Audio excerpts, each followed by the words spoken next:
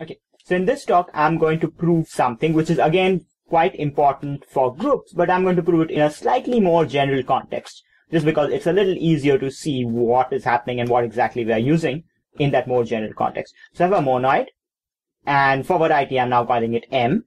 I've been calling it S for a set, but now I'll call it M for monoid. It's a binary operation star. Okay, that's the multiplication of the monoid, and the identity element is E.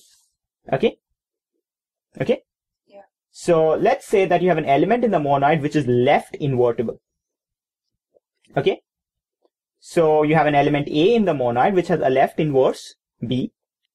And now I want to show that A is left cancellative. What do I mean by that?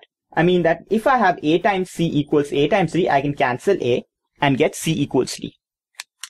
Okay. So how would you prove this? Well, we start with A star C equals A star D, and then we have to do some manipulation. So what will our manipulation be?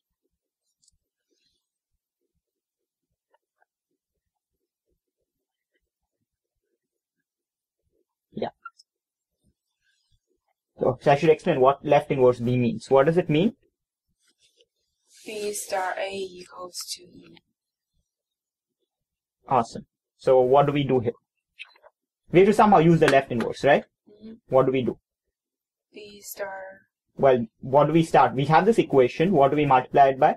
B On which side? left. Yeah. So since now group operations and monoid operations and things like that are not commutative, when you say multiply both left hand side and right hand side by something, you have to specify whether you're multiplying it on the left or the right within each side. Okay. So multiply by B on the left. So what do we get? We get B star A star C in parentheses is B star A star D. Okay. Now what? Associated. Wow. Okay.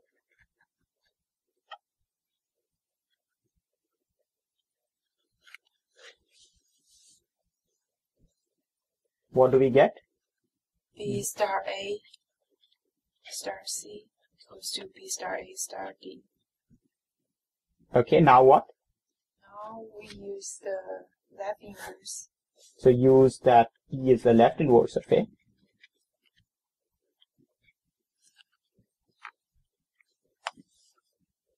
This is fast. So what do we get? So we get E star C equals E star D.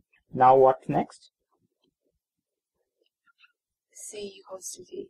So now use that E is the identity, right? Okay. Actually, I mean, I'm just writing it in many steps, but you can sort of see immediately if you think about it, right? You multiply the inverse, the B and E star A cancel, and you're just left with C and D. So what's the upshot of all this? What's uh, the moral of this, this story? What have we proved in essence? We proved that left invertible implies what? Left. So any element that's left invertible, you can cancel whenever it appears on the left. Okay, what would a similar thing be for the right side? Right invertible implies right cancellation.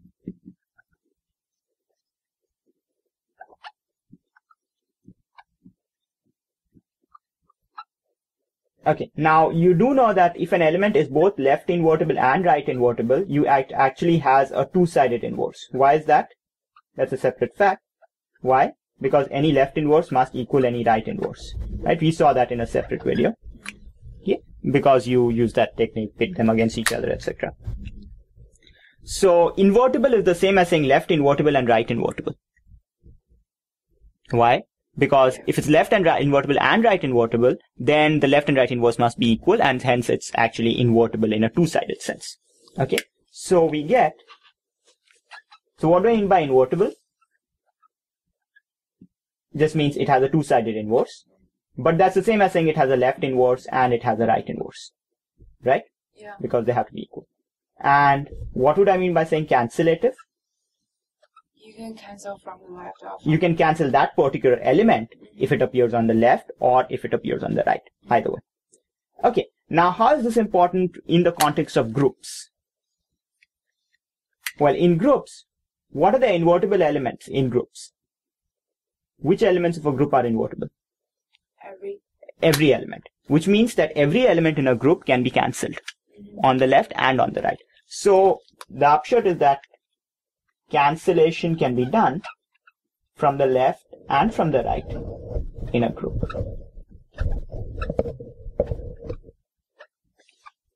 But but we have to cancel from the same side on both. Like if you have, if I have an, one expression equals another, I cannot cancel the left here with the right here. I have to cancel the left with the left and the right with the right. Okay. Okay.